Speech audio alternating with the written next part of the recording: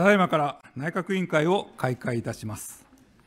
政府参考人の出席要求に関する件についてお分かりいたします。孤独・孤立対策推進法案の審査のため、本日の委員会に理事会協議のとおり、内閣官房孤独・孤立対策担当室長、山本真理君ほか5名を政府参考人として出席を求め、その説明を聴取することにご異議ございませんか。ご異議ないと認め、採用を決定いたします。孤独孤立対策推進法案を議題とし、質疑を行います。質疑のある方は順次ご発言願います。水野素子君。立憲民主・社民の水野素子です。会派を代表して質問させていただきます。まずは世帯の多様化と標準世帯につきましてお尋ねしたいと思います。本日、孤独孤立対策ということで、独居を含む世帯の多様化が進んでおります。税、社会保障等の計算において、約50年前の昭和の時代から、いわゆる標準世帯、1人だけ、おそらくお父さんでしょうか、1人だけが働く4人家族が長く用いられてきましたが、そのような世帯は現在では5%にも満たないという報道もございます。税、社会保障等の算定において、政府が基準とする世帯モデルは、現在、どのようなものか、小倉大臣に伺います。小倉国務大臣。えー、標準世帯の定義についてお尋ねがございました、えー、総務省の家計調査におきましては、夫婦と子ども2人の4人で構成される世帯のうち、有業者が世帯主1人だけの世帯、こう定義をされ、えー、家計の税や社会保障の給付、負担などを計算する上でのモデルケースとして扱われることがありますものの、諸制度の中で一律に用いられている概念ではないと承知しております。その上で、個別の制度に関する世帯モデルの設定につきましては、それぞれの制度を所管する関係省庁において、検討を行っていただくものと考えております。水野素子君。はい、先ほどあの申し上げましたように、今やそのモデルは、4人の1人だけ働くというモデルはですね、5%にも満たないということでございますので、ぜひ政府としてですね、どのような世帯、それは一つではないかもしれません、さまざまなモデルの中でですね、改めてご検討いただければということを申し述べて、次の質問に移りたいと思います。私としては、まず孤独・孤立、具体的な事例を検討が必要だということを前回申し上げましたので、私はからは今日はまず母子家庭の孤独につきましてお尋ねしたいと思います。母子家庭の孤独の原因と対応について、政府の見解はいかがですか、小倉大臣に伺います。小倉大臣。令和4年の孤独孤立の実態把握に関する全国調査結果によれば、ひとり親と、これはあの父子家庭も含まれますが、ひとり親とこの世帯の孤独感は他の世帯で比較して高い傾向となっていたところであります。また、あの、同じ調査結果によりますと、孤独感に影響を与えたと思う出来事については、ひとり親かどうかにかかわらず、孤独感を感じる頻度が比較的高いものでは、家族との死別27%が上位に挙げられておりますほか、家族との離別6.9%ですとか、DV や虐待を含む家族間の重大なトラブル8.7%を回答した方々もおり、母子家庭も含め、こうした出来事に起因して孤独の問題を抱える方々が多くいらっしゃるものと考えております。子ども家庭庁におきましては、ひとり親家庭への総合的な支援のための相談窓口の強化事業、これによりまして、母子家庭を含めたひとり親に対する自治体の相談支援体制の強化を図っているところでありまして、こうした取り組みや孤独孤立対策の観点からも重要と考えております水野素子君。はい先日、上田委員からもご指摘があったかと思いますが、私は母子家庭、まあ、孤独孤立、中んづく母子家庭、その子どもの孤独孤立には経済面、貧困の影響が多いと考えております。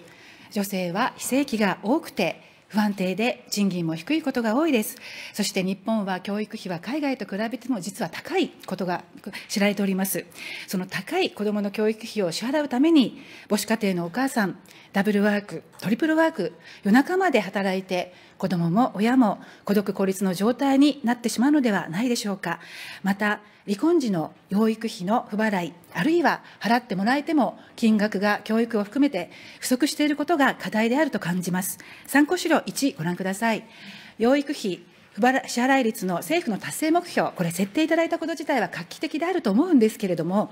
2031年で40%はちょっと消極的ではないでしょうか。8年後ですから、できれば100%を目指していただきたいと考えています。また、そのためにも支払い義務をぜひとも法制化することをご検討いただきたいとも思っております。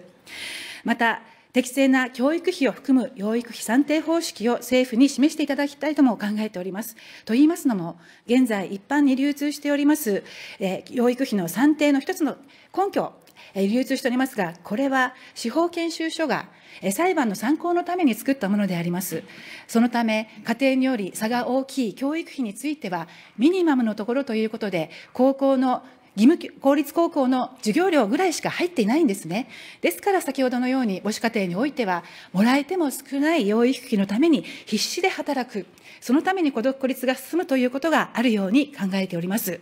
この点につきまして、小倉大臣にご見解を伺います。小倉大臣。あのいくつかあのご質問いただいたと思います。あのまずあの養育費の受領率の達成目標につきましてでありますが、あのこの、えーおてご提示いただいている資料1の一番最初に書いてありますように、あの我々のあの認識はあの、希望するすべてのひとり親世帯が養育費を受容できるようにすることが重要である、まあ、これがあの基本前提でございます。えー、その上で今回、あの受領率の達成目標を提示したわけでありますが、これもあの上田委員との質疑の中で申し上げました、さまざ、まな考え方があります中で、あの受領率の推移を見ますと、2003年から2011年までの間の受領率の上昇はわずか2%でありました。その2011年から2021年の10年間の間で8.4%上昇しております。まあ、この間、政府は養育費の取り組みをはじめとした、受領率の向上のためのさまざまな取り組みをやった成果、これだと思っております。で、将来トレンドを推計するにあたって、先ほど申し上げた、まあ、定位にとどまっていた2003年から将来トレンドを推計をするのか、あるいは上昇率が高まっている2011年から将来トレンドを推測をするの、推計するのか、まあ、様々な考え方ある中で、私といたしましては、上昇率が高まっている、まず2011年、これを起点として、将来推計をした上で、2031年に関してはそれを上回る達成目標を掲げたということでございまして、まあ、当然ですね、さらなる受領率の上昇のための様々な取り組みを、まあ、あの、子ども家庭庁や法務省とも協力をしながら、施策を実践をしていかなければ達成できないぐらいの高い水準であると、まあ、こう理解をしておりますので、まあ、この目標をしっかりと達成できるように、これからも努めてまいりたいと、このように考えております。まあ、なお、あの法制化につきましては、これもですね、当委員会であの繰り返し申し上げておりますように、この養育の在り方、法制度につきましては、基本的には法務省の法制審議会、家族法制部会において議論が進められているものと承知をしておりますので、この法務省における議論に委ねたいというふうに思っております。養育費の額につきましても、これはですね、家庭裁判所が個別具体的な事情において、審判により、審判により定められ、定められているものと承知をしておりますし、まあ、要求費のですね、金額を示した表につきましては、数名の裁判官による司法研究の成果として示されたものであると、まあ、このように承知をいたしております。まあ、いずれにいたしましても、孤独孤立の観点からもですね、まあ、非常にあの経済的な事情が孤独感に影響を与える、うるものというふうに考えておりますので、養育費の履行確保や、個々の事情に応じた取り決めや支払いが円滑に進むことが重要であると考えておりますので、所管省庁における議論をしっかり注視をしてまいりたいと、このように考えております。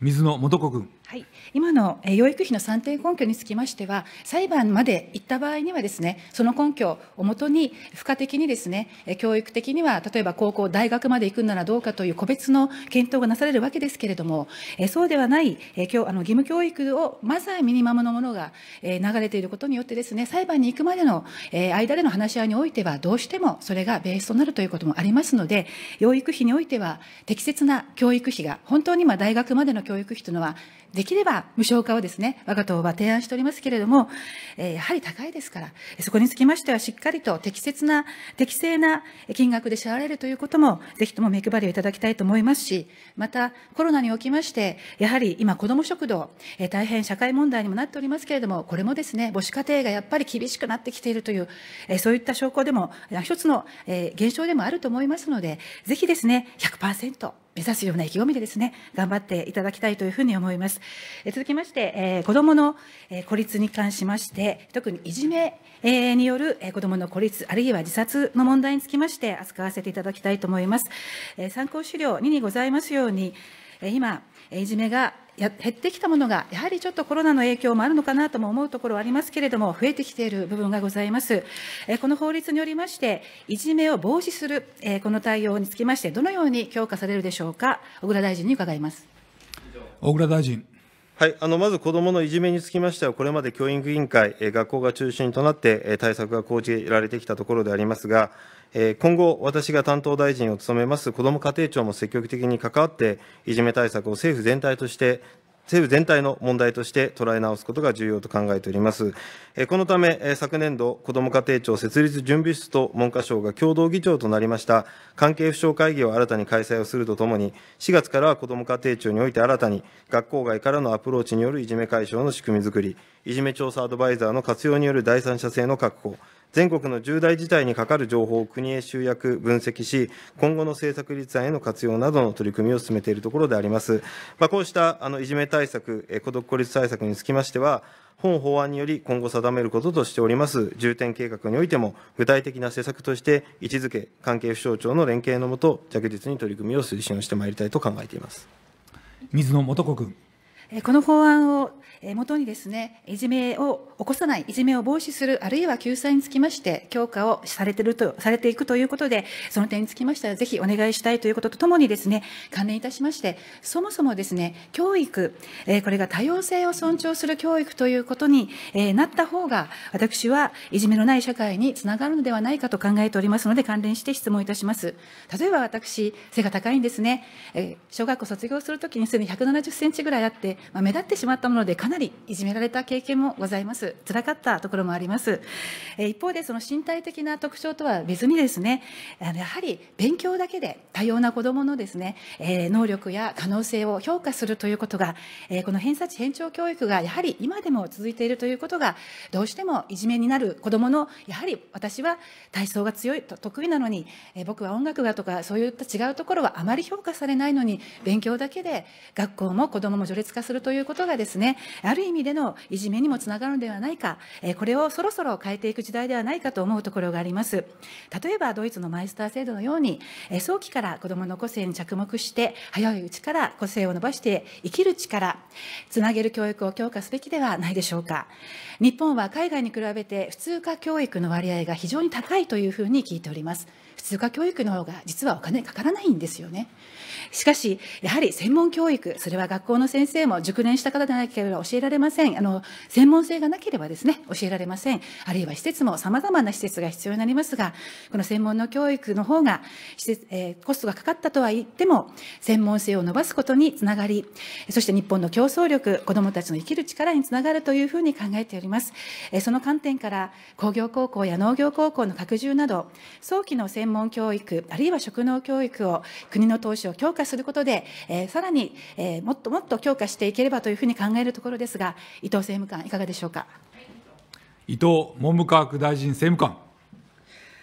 ありがとうございます。あの先ほど今ご指摘をいただきましたように、あの専門性を含めて本当にあの生きる力をしっかりと伸ばしていくという個性を本当に伸ばしていくという教育あの大事だということを文部科学省としてもあのまず前提として考えさせていただいております。現在文部科学省では一人一人の子どもたちの可能性を最大限に引き出す令和の日本型学校教育の実現に取り組みをしております。この実現にあたりましては、子どもたちが一斉に同じことを学習したり、いわゆる学力テストの偏差値といった特定の指標のみによって子どもを評価するのではなく、子どもたちの学習の様子や興味、関心等を適切に把握し、お互いに学びを深め合いながら、一人一人に寄り添った教育を展開していくということが大切であるというふうに考えております。このため、文部科学省としましては、小学校35人学級の計画的整備や、ギガスクール構想により整備された一人一台端末の活用事例の紹介等を通じ、デジタルも活用した個別最適な学びと共同的な学びの一体的な充実を図っているところです。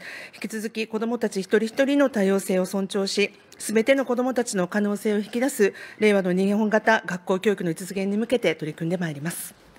水野素子君。ぜひ個性を伸ばしていく、そして一人、みんな、一人一人が違ってみんないいよねという、そういった教育をですね、えー、ぜひとも推進していただきたいと思います。まあ、関連いたし、あの、今度は子どもの孤独孤立の、他の類型といいますか、不登校の問題につきまして、改めてお伺いしたいと思います。資料、えー、3の方をご覧ください。えー、ここに来てぐっと不登校が増えている。これはコロナ禍の蔓延とかなり重なっており、私もそうですけど、周りでですね、子どもの不登校、悩んでいるような、え家庭が増えているわけであります。このコロナ禍による影響につきまして、どのように政府が、調査検討するかを、以前はですね、本会議で小倉子ども家庭庁の担当大臣にお尋ねして、その時は文部科学省でということで、文科大文科省さんにお尋ねして、今日はお二人揃いましたので、ぜひ改めて、もう一度お伺いしたいと思って、本日質問とさせていただいております。資料4、ご覧ください。こちらの当事務所をまとめておりまして、えーえー、ございますけれども、ままずコロナのことも少しありますけれども、子どもに関係する省庁、あるいは、えー、本部とたくさんあるんですよね。で私、本当のところ言えば、子どもが真ん中ということで、子ども家庭庁が立ち上がったので、文科省のところにある教育も含めた全体を一括化してですね、子どもが真ん中、教育も含めた一括的な組織になってほしいなという思うところがあったんですけれども、まずは第一歩として子ども家庭庁がスタートされたということで、今般ですね、改めてお尋ねしたいのは、この上の方にもさまざまな本部等があります。新型コロナウイルス感染症対策本部は一旦廃止されてますけれども、今度、統括庁として新たに内閣の方にですね、内閣官房の方にできるというふうに伺っておりますし、今、子どもの不登校、コロナで増えているのではないか、こういったことをですね、どの省庁がですね、あるいはどの本部等がですね、責任を持ってですね、司令塔となっていくのかということを改めてお尋ねしたいと思うんです。この法案ではですね、今回の法案では14条で調査研究を掲げておりますので、コロナ禍と孤独・孤立の状態の関連性、学校現場の影響を含めて調査・研究をして、効果的な政策につなげていただきたいという思いもございます。不登校、あるいは孤独・孤立につきまして、コロナ禍との関係性について実態の調査、それから対策の検討、どのように行うのか、まずは小倉大臣、そして補足があれば伊藤政務官によろしくお願いいたします。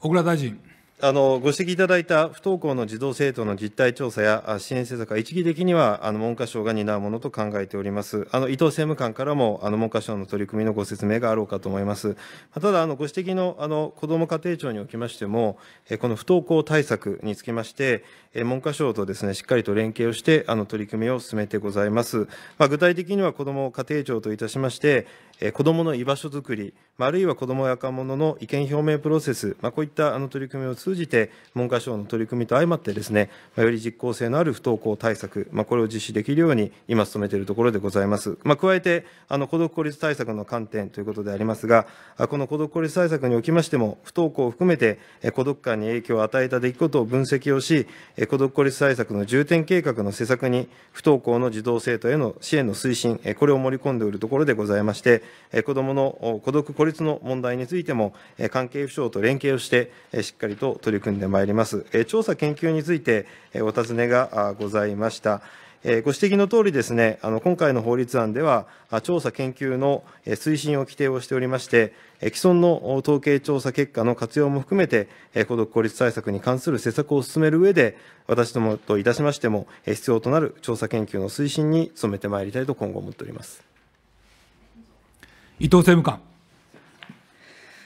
コロナ禍の学校現場への影響と今後の対応について、あの文科省の方にご質問をいただきました。学校教育を文部科学省ではあの所管をしております。でコロナ禍の影響を踏まえることも含め、子ども家庭庁をはじめとした関係省庁や地方自治体とも連携をしつつ、必要な対応を進めているところです。で例えばあの、コロナ禍による生活環境の変化が一因となったと考えられるものとして、先ほどご指摘もいただきましたけれども、令和3年度における小中高等学校の不登校児童生徒数が約30万人となったことが挙げられます。の本年3月末に不登校特例校や校内教育支援センターの設置促進をはじめとする、誰一人として取り残されない学びの保障に向けた不登校対策、いわゆる心プランを取りまとめ、強力に推進をしております。でまた、あの全体としては、児童・生徒の学力に低下の状況は見られないということは明らかとなっておりますものの、感染対策上の必要性から、多様な児童・生徒が集う学校ならではの児童・生徒同士の触れ合いを基盤とした集団的な活動や、体験的な活動が制限されてききたこともまた事実であります。児童・生徒が多様な他者と関わる豊かな体験活動の充実なども、各教育委員会に対して促している促しているところです。で文部科学省としては、引き続きすべての児童・生徒が安心して、充実した学校生活を送ることができるように、必要な対応を進めてまいります。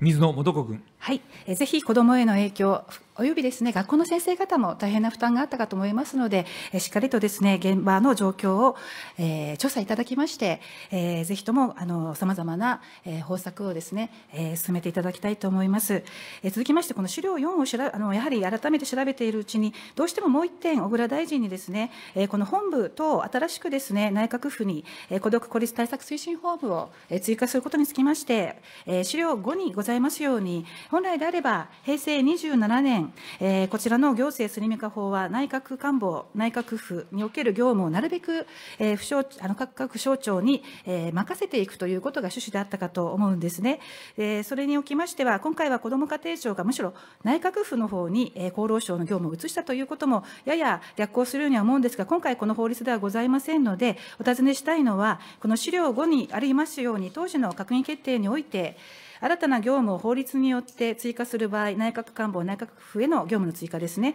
原則として内閣官房、内閣府において当該業務を行う期限を設けることとするとされておりますが、この点につきましていかがでしょうか？小倉大臣。まずあの内閣府にあの業務をあの、まあ、追加というかあの負担を設置をすることとした理由でございますが、まあ、今後あの、単身世帯や単身高齢世帯の増加等により、孤独孤立の問題のさらなる深刻化が懸念されるなど、孤独孤立の問題はその時々の重要政策課題としての位置づけではなく、恒常的に取り組むべき重要政策課題であります。また、幅広い社会的課題に密接に関連する孤独孤立対策は、政府全体を通じ、各省庁の広範にわたる政策を総合的に推進をする必要があると思っております。こうした政策課題に対応する孤独孤立政策対策にかかる事務については、本来、特定の重要政策課題について、恒常的に総合調整等を行うことが予定されております内閣府において担うことが、担うこととする方が適当と考えた次第であります。ご指摘のとおり、内閣府への業務追加にあたりましては、あの平成27年1月の閣議決定を踏まえ、その必要性や期限等について、個別に検討を行い、期限の定めや施行後、一定期間経過後の検討の定めを設けるなどの対応を行ってきているものと承知をいたしております。今回の孤独孤立対策につきましては、あの今後、さまざまなあの、まあ、課題が想定される中、継続的、長期的に取り組むべき重要政策課題でありますことから、その事務の性質上、業務を行う期限の定めを設けることが困難であると判断をいたしまして、本法案において、内閣府において、当該業務を行う期限を設けることとはいたしておりません。また他方で、見直しの観点も重要であるとも認識をいたしておりまして、本法律案の付則第3条におきまして、体制の在り方を含め、法律全体に関して検討規定を合わせて設けさせていただいております。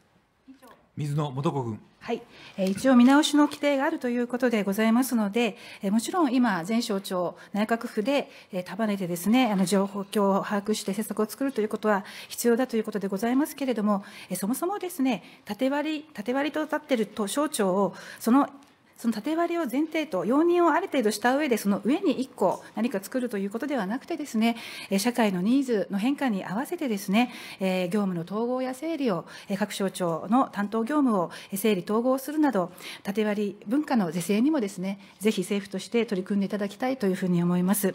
さて一つですね具体的な事例として私はやはり今回子どもあるいは教育に関わることが省庁ごとの縦割りに加えてやはり調べてみるとこの資料4のように特に公立と私立の分けにおいて国とそして都道府県とにもまたさらに縦割りになっている。これはやはりですねこの縦割りの中であるいはたらい回しにあったりそういった形でですね国民が利益不利益を被っているのではないかという思いがあります。そして私はどうしても2019年3月29日に起こった神奈川大学附属高校での学生徒2人の死亡事故につきましてこれが私がこのの事故が起こった当初から、さまざまな相談、悩みを、近しく聞いておりましたので、これはまさにこの都道府県、そして文部科学省の間の縦割り、あるいはたらい回しによる遺族の本当に辛い思いを私は見聞きして近くでおりましたので伺いたいと思います。えまずこの事故に、死亡事故につきまして、文科省はどのように把握しておりますか？えそして学校等から報告を受けた場合には、その受け止めについても、もしお考えがあればお願いいたします。伊藤政務官。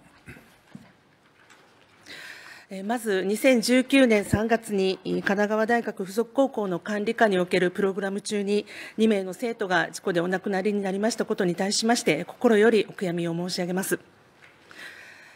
お尋ねの神奈川大学附属高校の死亡事故につきましては、文部科学省の示した学校事故対応に関する指針を踏まえ、学校法人神奈川大学におきまして、詳細調査が行われております。で、その結果をまとめたあの報告書が文部科学省に提出をされているところです。水野素子君。はい、えっと、資料6の方に当時の報道がございますけれども、こちらの方では概略が分かっていないかもしれませんので、改めて文科省、え政務官に、え対しましてもご説明をさせていただきたいとも思います。えこちらは学校の海外での研修旅行で引率の教諭もある中で、海外におきまして、遊泳がそもそも危ないからと禁止されている湖において、ライフジャケットも何もなく泳がせた結果、2人の学生が溺死したという、本当に痛ましい事件であります。それなのに、現場に行ってみますと、大変な至近距離でもあるのにもかかわらず、引率の教諭や同行した生徒は何も見ていない、いつの間にかいなくなったということしか、間接的に学校から不十分な説明しか遺族は受けることはできておりません。十分な情報提供も説明もない。そして学校行事にもかかわらず、海外での事故のためか、刑法の適用範囲に対象となってないためか、日本の警察は全く動きません。えそこで、引率教員は実は現地の警察に携帯で撮影した画像や、あるいはヒアを提出したり、ヒアリングを受けているのに、遺族へのこれらの資料の開示や説明はなく、外務省のご協力を得て、現地の警察にお願いをして、なんとか一部の情報だけをもらえるということであります。これは指針の違反でもあると私は考えますので、後でその点もお尋ねしたいと思います。私学ですから、文科省、あるいは教育委員会も主体的に動いてくれません。相談に行っても、たらい回しで県に行ってくださいということになって、そして原因究明の調査も、事故の当事者である学校が事務局で、客観性に疑問があると、本当に遺族の側は不信感、不満を持っているわけであります。そのその結果、報告書、これは遺族の方でも納得のいったものになっていない。だからこそ開示もできていない。社会にも説明をしていない。事故当時の関係者、今経営は入れ替わったようですけれども、誰も責任を問われていない。突然、未来のある子どもたちを、家族を失った遺族は憤り大変辛い思いをしていますが、文科省も県も動いてくれない。さらに神奈川県の黒岩知事は、事故発生直後に遺族が面会を申し入れましたが、会おうともしませんでした。本県を含む私立高校、本件は私立大学附属高校でありますが、この学校行事における生徒死亡事故は、そもそも行政でどこが責任を持って調査や完全改善勧告などの対応を行う責任が思っているのでしょうか。特に所轄庁がどこなのかということも含めて、ご説明をお願いいたします。伊藤政務官。お答えいたします。あの、私立高校、私立ですね、私立、あ、私立学校の管理下におきまして、死亡事故が発生した場合、事故の発生原因の究明、保護者への十分な説明や、今後の再発防止等の一連の事故対応につきましては、学校の設置者である学校法人が責任を負うこととされております。その上で、学校法人が十分に責任を果たすことができていない場合には、関係都道府県と連携しつつ、文部科学省が指導等を行うことになります。事故対応にあたりましては、被害児童・生徒等の保護者に寄り添い、十分な説明を行うなど、信頼関係に立って事態へ対処することが何よりも重要です。学校事故対応に関する指針におきましても、その旨を示しているところであり、文部科学省としましては、同指針を踏まえて、設置者が適切にその責任を果たすことができるよう、必要な指導を行ってまいります。水野素子君。これは本当に生徒の死亡という本当に痛ましい重大な問題ですので、しっかり原因究明、情報開示、改善をなさらなければ、繰り返されて国民の安全にもかかります。実はこの学校法人は、この死亡事故、2019年3月29日ですけれども、その直前の3月にも、ハワイ島で登山中に学生が滑落して、重傷を負う事故も起こしています。その段階でしっかりとした安全対策の見直しが行われていれば、この死亡事故にはならなかったのではないかと、遺族は本当に憤っているわけであります。公立高校であれば、教育委員会などが主体的に行政が調査し、改善に関わりますが、私学で事故が起きたら、行政は関与せず、当事者である学校に調査等を任せてしまい、状況によっては遺族が泣き寝入りとなるような構造を国民は知りませんし、到底納得できないと思います。私学というのはむしろ高い学費を払って子どもたちを預けているわけですから、より丁寧な対応があるというふうに思っている国民も多いのではないでしょうか。参考資料6にありますが、学校事故対応に関する指針、文部科学省におきまして、先ほど指針とおっしゃっていますけれども、調査の実施主体、当事者、すなわち加害者の加害性可能性もある学校側とするのは、万一の場合は隠蔽や利己的な調査報告となる恐れもあって、不適切ではないでしょうか。今回は死亡事故で学校側の求めがあれば都道府県等担当課が調査の実施体となることができるとありますが、何か事情があるのか分かりませんけれども、この死亡事故においては、学校側が調査主体となって、遺族は大変な不満を実は持っているわけであります。調査の客観性が担保されるよう、特に死亡事故等の重大事故では、当事者では学である学校側が調査主体となれないように、指針を改定すべきではありませんか、伺います伊藤政務官。